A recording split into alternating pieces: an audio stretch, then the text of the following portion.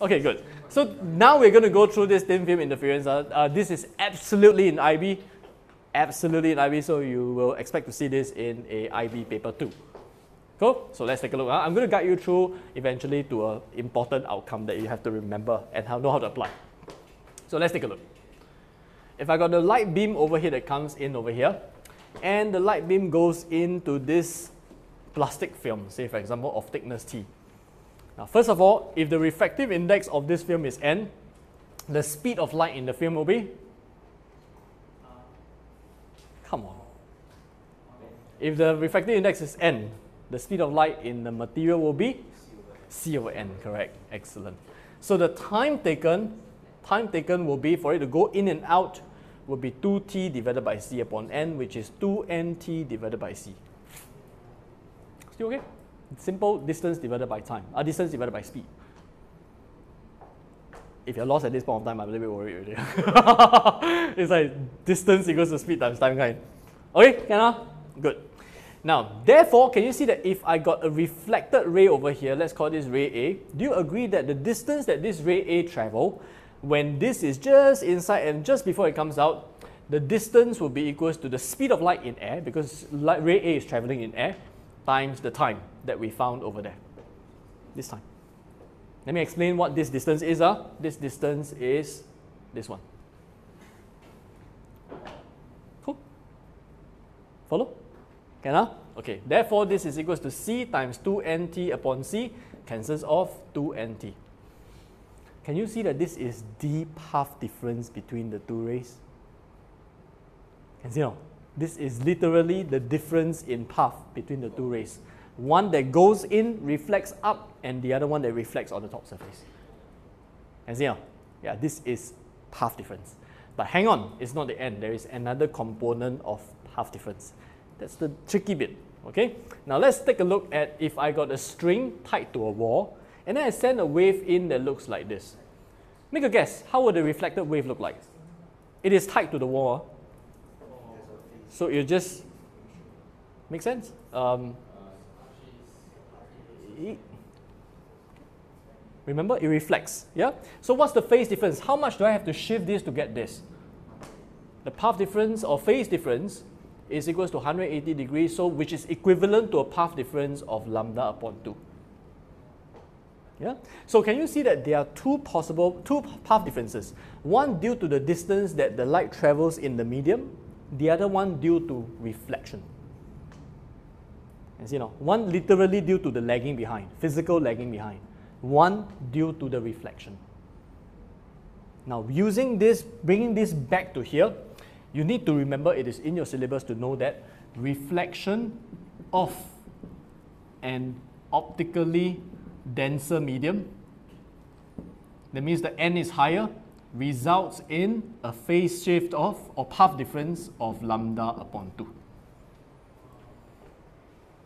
Okay, now let's apply this back to here. So say this is air, this is H2O water, this is air. The reflection of light off here, is there a path difference? due to reflection? Is it reflecting off a denser medium, an optically denser medium? It is, correct. So therefore, the effective path difference final is equals to 2nt plus lambda upon 2. This one, is it reflecting, reflecting off optically denser medium?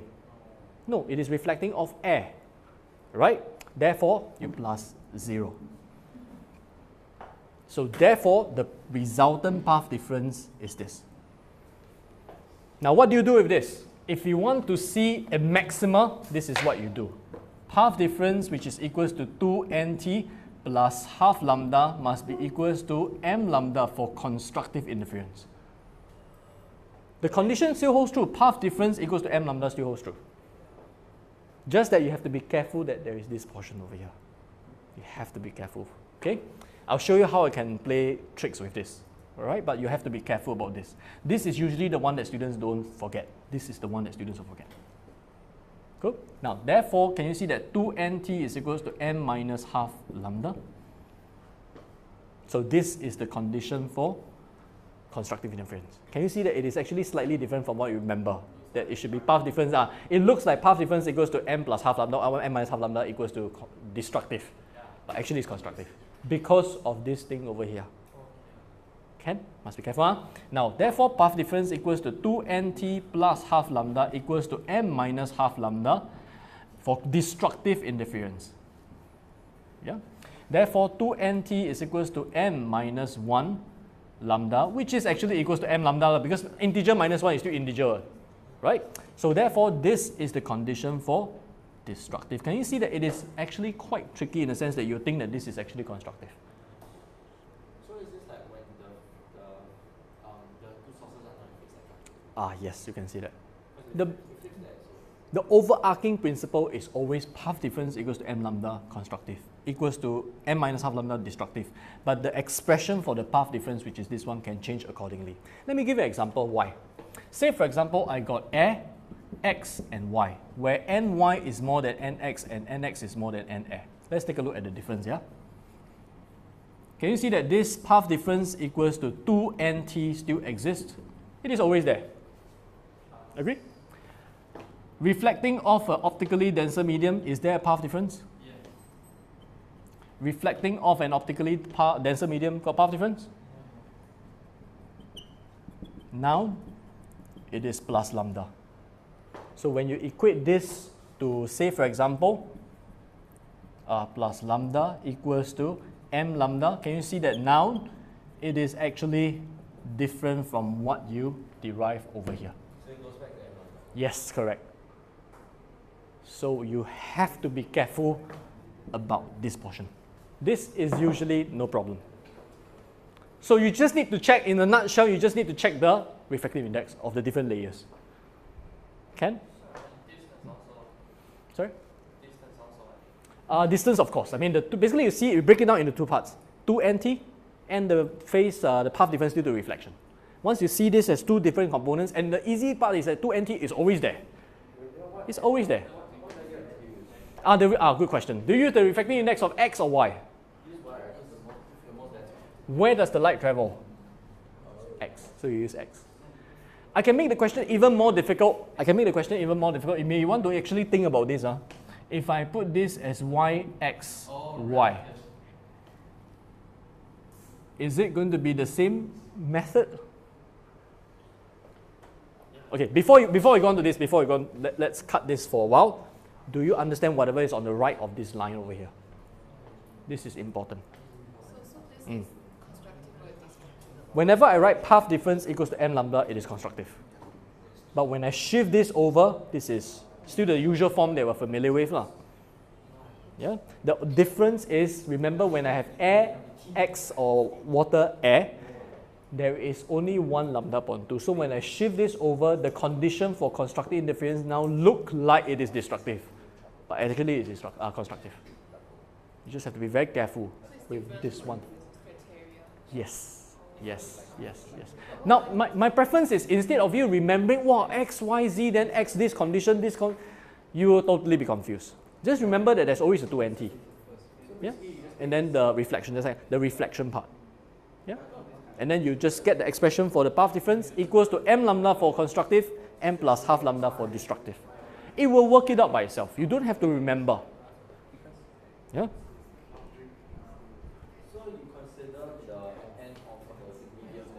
That the light travels and bounce back. Yes. Yes, correct. Yes, correct. Why, why if there's another one below it? Then it doesn't affect well because this one, this one, the light reflects off this medium. If I have a Z, it doesn't affect the reflection of yeah. But of course, it gets more difficult. I can have multiple layers. And then, it- oh, I mean, yeah. Your question. Oh, okay. If it is a denser medium, oh, good question actually. If it is a denser medium, the model is like it is reflecting. It is trying to travel into a medium where it's more difficult to travel in. So when it reflects off, it reflects as though like it is a wave tied to an end kind of thing because it's more difficult to enter the wall. Yeah. For the less dense medium, it's like light. Uh, it's like wave. You remember the, the one where I have a string that is open end. Um, when it is this is free to move. When I send a wave in like this, the wave that comes out will also look like this. Can? Then you just go right through. There will be no reflection. Right? There's no. The reason why there's reflection of a surface is because of difference in refractive index. In fact, there's an equation that gives the reflectance to be equals to n1 minus n2 over n1 plus n2 squared. So if you have n1 equals to n2, which is the refractive index, the reflectance is zero. Which makes sense what? When you have light traveling in air, it just goes straight through. lah. Why would it reflect? If it reflects, it's because it's scattering of dust particles. Yeah? Can? Uh, this is a very bad question, but why is why is it D is the path, difference? Oh, okay. You see, this expression is the distance that this light travel while this is still inside. It's, mu- it's almost like, say, for example, you hit a, let's say, a race, you're in a running race, and then this person take a wrong turn. He think that this is the turning point, but this is the turning point. So this person runs and then realize and then goes back. By then, this will be this ahead already. Yeah? Can? How do you get N minus N2? Oh, okay. There's a, another whole lot of derivation that you can use. Yeah, but this is definitely the equation. Yeah. So the bigger the difference in refractive index, the bigger the reflection. This is reflecting off the top surface. This is reflecting off the bottom surface. No, yeah, top surface and bottom surface.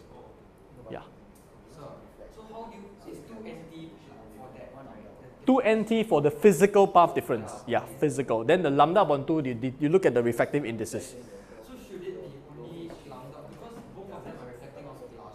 No, this is reflecting off glass, this is reflecting off the next layer is air. Yeah, it's air. You look at the next region. Okay? Reflecting off air. So the path is 2nt? Plus. You always plus. I mean, you put minus or plus, the condition eventually will be the same.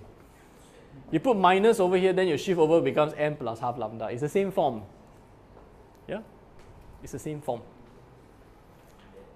Still okay? So, as long as it's uh, plus or minus half, it's constructive. Okay, uh, you must be very careful, must qualify. uh, In this situation, yes.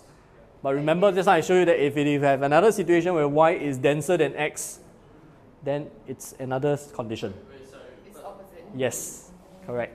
But, but must consider T and N. Of course, of course, of course, of course, of course. Now, hang on, uh, hang on. Uh. I'm going to ask you a question and you need to listen carefully and try to answer why this is so. Are these the only two reflection over here? How about, say, for example, tiu, tiu, how about this one? In fact, there are infinite number of reflection, all right? So why do I only consider the, these two reflection? Sorry?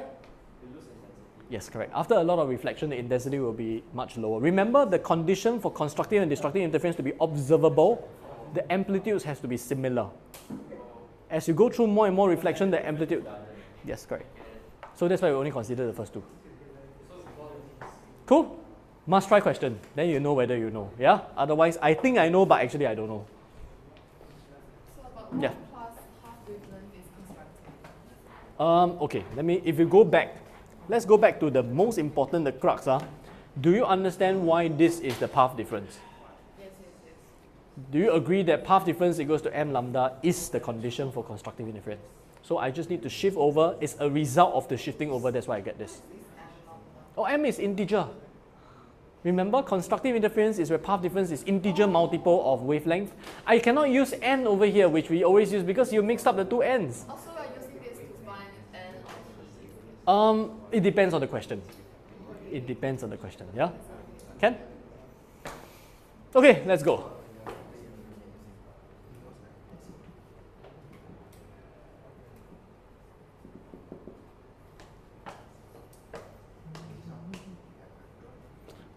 Find the minimum thickness T minimum such that light of wavelength equals to 600 nanometers would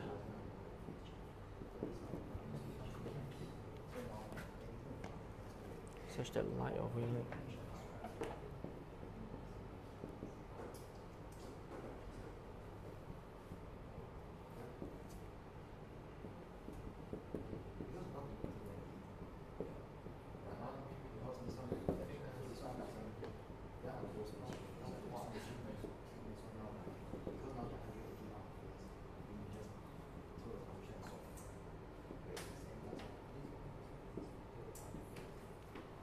The second part is the interesting one. Minimum. Find the minimum thickness of the water film such that the when light of wavelength 600 nanometers is incident, it appears bright. When I say this one, do you think it's maximum or minimal? Exactly. So you go back, you go back to here. What's the condition for maximum? Yeah? What's the condition for maximum over here? I use exactly the same scenario. Ah. Water, air, air, water, air. But the second part is the interesting part. Do the first one first, and then you see whether you can get the second one.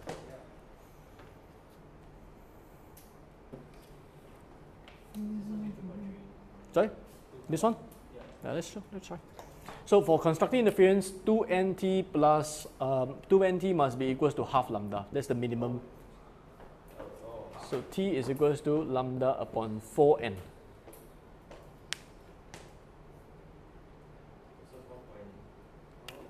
So therefore it's 600 nanometers divided by 5.232.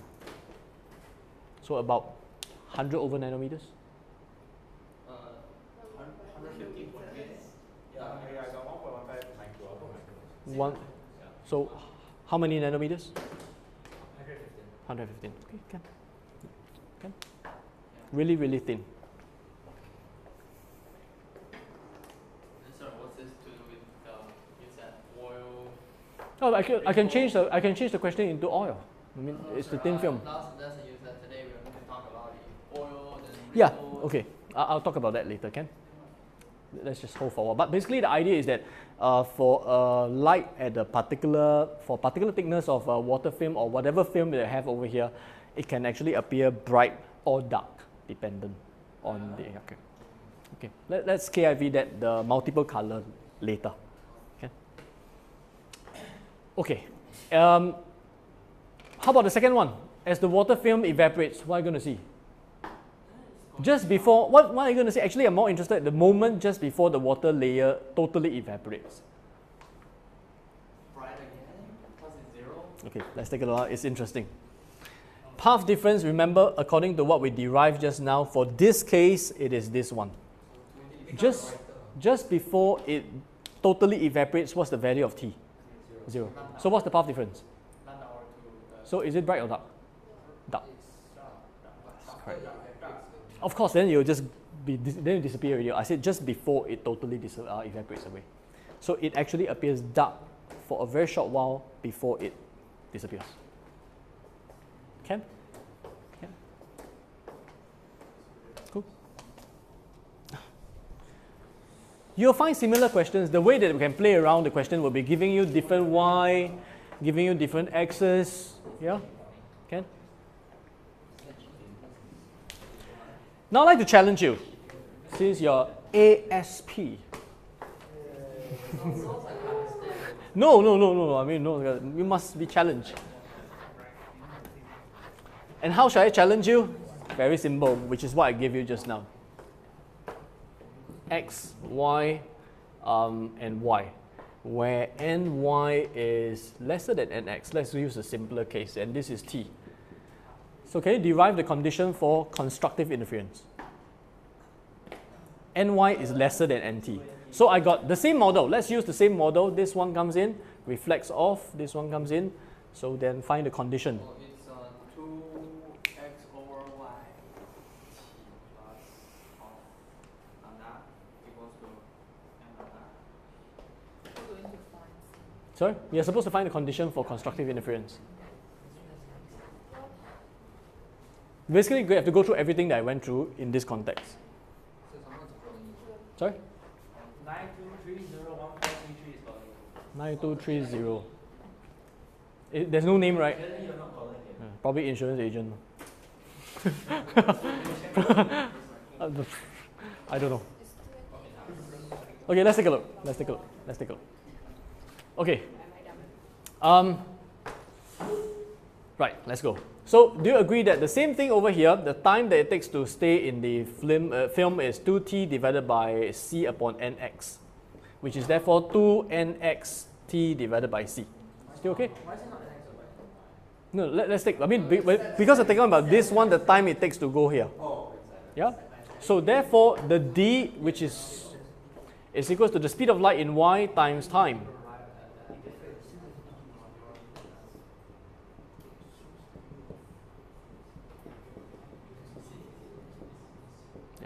Yep.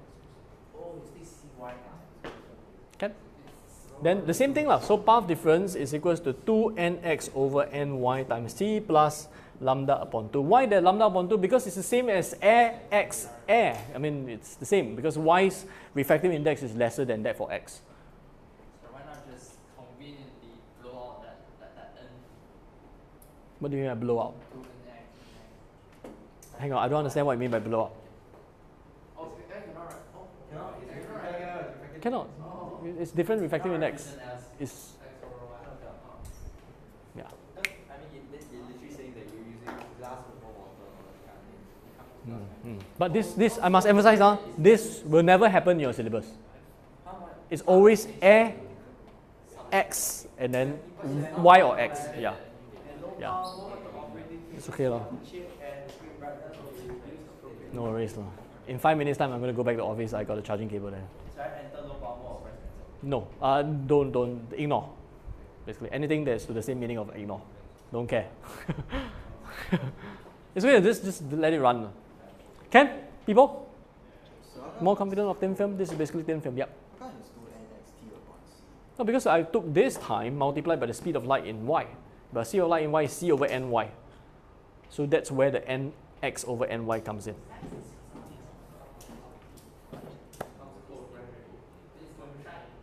Which part were you lost? From here to here, here to here, or here to here? how come the time is not? This is speed of light in y because I'm trying to find the distance that this move, well, this is here. Yeah. Can? Can you press the stop recording? Thank you. Um. Stop recording. It's not that complicated lah, Aditya. Just press stop.